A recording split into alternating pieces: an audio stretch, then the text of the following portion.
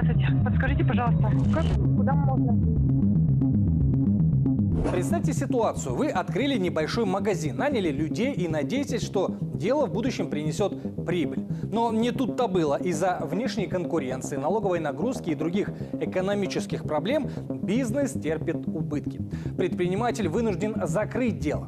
А где же меры господдержки, спросите вы? Они есть, вот только доходят средства далеко не до всех. В основном всяческие преференции получает бизнес-элита, квазигосударственный сектор, крупные холдинги и компании, проверенные игроки. Иногда нечестным путем.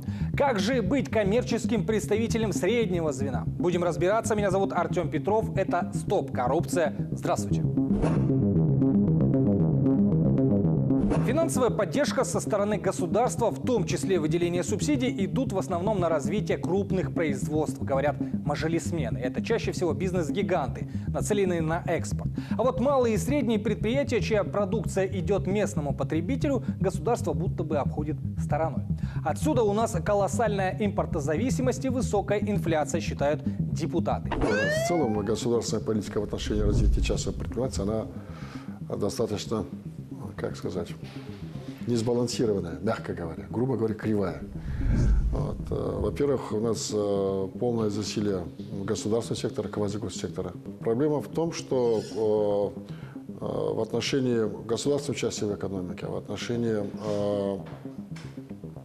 роли госзаказа, государственных тендеров, в отношении банковской политики. Очень много вопросов выстроены так, что они ущемляют интересы частного предпринимательства. Очень много направлено либо на квазигоспредприятия, у них все преимущества, и э, финансирование практически не ограничено, и бесконтрольное во многом, и э, полномочия административные, где они выдавливают своих конкурентов из частного предпринимательства. За пример возьмем Атыраускую область. Предприниматели, занимающиеся продажей сжиженного газа на автозаправках, оказались в долговой яме. Не хватало сырья для реализации. Как результат, появились просрочки по кредитам и проблемы с налоговой. Обращались за помощью к уполномоченным органам, но помощи не дождались. А, Основные выявленные коррупционные риски это является отсутствие цифровизации, то есть участие человеческого фактора, а а именно а, сотрудниками управления э, энергетики и жилищно-коммунального хозяйства распределение газа про- производится вручную. Кроме того, установлены факты э, выдачи э, жижен нефтяного газа недобросовестным, недобросовестным участникам, э, субъектам предпринимательства. Также установлены коррупционные риски при информировании субъекта предпринимательства о выделении жиженного газа. В ходе, в ходе про- по проведенным а, результатам антикоррупционного, антикоррупционного мониторинга совместно с региональной а, палатой предпринимателей, а также управлением энергетики и жи- жилищно-коммунального хозяйства. А, 27 семей субъектам предпринимательства а, выделены дополнительные объемы в количестве 999, т- 996 тонн, а, в связи с чем а, защищены права 27 субъектов предпринимательства. Отечественным предпринимателям сложно в нынешних условиях вести честную игру. В стране вместо рыночной экономики орудуют монополисты, считают депутаты. То есть чиновники сами решают, какому именно сектору бизнеса выделять субсидии и гранты. Раз основная поддержка идет квази-госкомпаниям, то владельцам малых предприятий остается платить коррупционной монетой, вести незаконные схемы бизнеса и обходить налоги. Чтобы участвовать э, в госзакупках, хоть чтобы что- что-то получать. Какой бизнес сегодня выживает? Тот около Акимов, тот около квазигоскомпаний, тот где- кто где-то встроился вот в такие системы. А кто работает на чистом рынке, они доходят до какого-то потолка, а дальше они растут. А у нас мы для малого бизнеса преференции, для крупного бизнеса преференции, а средний бизнес выпал. Мы разрубили, и мы э, сегодня пожинаем плоды вот такого, с одной стороны, избирательного, с другой стороны, безответственного отношения к предпринимательству. Поговорим еще об одном бюрократическом якоре – кредитная финансовая политика. Она направлена, скажем так, под видом борьбы с инфляцией, успокаивают в Нацбанке. Но вот закрученные базовые ставки приводят к тому, что займы для предпринимателей становятся бесполезны. Что такое кредит 20-23%? Это значит, что инвестиции невозможны. При таких кредитах э, можно только перепродавать. При таких кредитах можно только чужие товары куп- купить и здесь продать. Произвести что-то при 23% ты не сможешь. Это нереально. Поэтому у нас вот э, и э, инфляция, как раз банк, с одной стороны, Нацбанк вроде как борется с инфляцией, фактически он порождает эту инфляцию своей кривой политикой.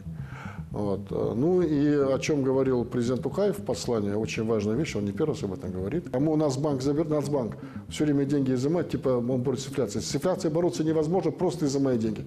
Можно все деньги забрать вообще с э, экономики, что будет тогда? Это будет не экономика, это будет натуральное хозяйство.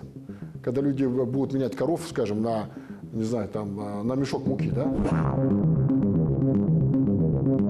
Чиновники зачастую впадают в крайность, когда дело касается проверок и мониторинга бизнес-объектов. Пользуются служебным положением, оказывают давление, придумывают различные способы запугивания предпринимателей. Основным э, жертвой э, вымогательств, жертв коррупции являются именно предприниматели.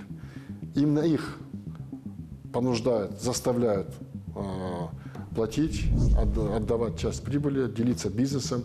Именно у них забирают бизнес рейдерскими захватами. Именно для них создают, специально создают препоны, чтобы они были вынуждены Подобные проверки решили организовать для сотрудников охранного агентства в Актюбинской области. Правоохранительные органы прямо на рабочем месте в развлекательном заведении допрашивали охранников. Без основания требовали предъявить документы, а еще устроили обыски. Дело дошло до абсурда, рассказывают предприниматели. проверяли документы на рабочем месте, документы, которые должны храниться в кадрах. Они требовали, чтобы они с собой носили эти документы, но это же невозможно. А, Были э, со стороны УКОДа даже попытки привлечь нас к административной ответственности. Но в силу того, что мы считали, что эти э, действия незаконны, мы были вынуждены в судебном порядке их оспорить. Что у нас и получилось. Ну, конечно, уже дело дошло до предела, и мы вынуждены были обратиться э, в антикоррупционную службу. Потому что мы видели уже дальше, просто нам работать не дают. Больше в таких ситуациях страдает репутация организации. Почему? Потому что когда мы осуществляем охранную деятельность, никакому владельцу бизнеса не понравится, что приходят люди в форме. Э, В основном же это развлекательные учреждения. То есть приходят, беспокоят во время работы, беспокоят гостей, потому что проверяют охранников. Выяснилось, что отдел контроля охранной деятельности Департамента полиции э, проводит проверочные мероприятия в отношении предпринимателей, руководителей частных охранных организаций. Было вынесено решение о приостановлении данных незаконных проверок. Таким образом, э, антикоррупционной службой защищены права 208 предпринимателей, оказывающих э, услуги в сфере частной охранной деятельности. Правда, было бы несправедливо вешать ярлык коррупционера на всех госслужащих. Есть добропорядочные слуги народа, и один из них живет в Шимкенте. Работник местного суда героически устоял перед соблазном получить взятку. Был составлен протокол в порядке сокращенного производства по факту предоставления физическим лицом незаконного материального вознаграждения в виде 5000 тенге секретарю судебного заседания. Деньги были переданы за ускорение оформления документов по гражданскому делу о взыскании неустойки. Необходимо отметить, что по данному инциденту госслужащая незамедлительно сообщила по данному факту своему непосредственному руководителю.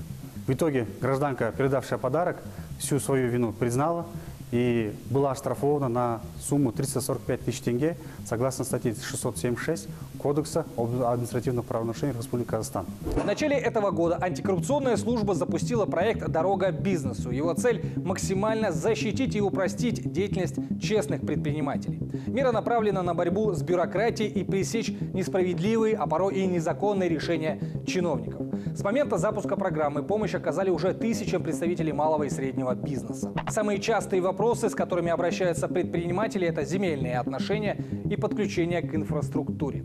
Проект полезный, говорят депутаты, но он скорее устраняет последствия, а не проблему. Поэтому вот эта программа антикора, она важная, надо поддерживать, но а, она, должна, она, она не должна быть основой, она должна быть дополнением. Основные инструменты борьбы с коррупцией все-таки лежат в плоскости государственной экономической политики. Не именно антикоррупционной, а именно экономической политики. Когда платить налоги будет выгоднее, чем не платить. Когда выполнять э, те же таможенные пошлины будет ну, спокойнее, чем э, отдавать взятку кому-то. Когда э, твое положение на рынке не будет зависеть от твоих отношений там, с нацкомпанией или там, с Акиматом, А когда ты ему можешь зарабатывать честно и, и никому там, значит, в ножки не кланяться. Сложилось мнение, что противодействие коррупции – это прерогатива антикора. На самом же деле это обязанность каждого из нас – предпринимателей, госорганов и общества в целом. Борьбу с коррупцией и бюрократией нужно вести на системном уровне. А пока напомним, что если вы занимаетесь бизнесом и столкнулись с подобными препятствиями, вам нужно позвонить на горячую линию 1424. С вами был Артем Петров. Увидимся в следующих выпусках. ВЛС-7 Бурсас, антикоррупционная служба. Здравствуйте. Подскажите, пожалуйста, как, куда можно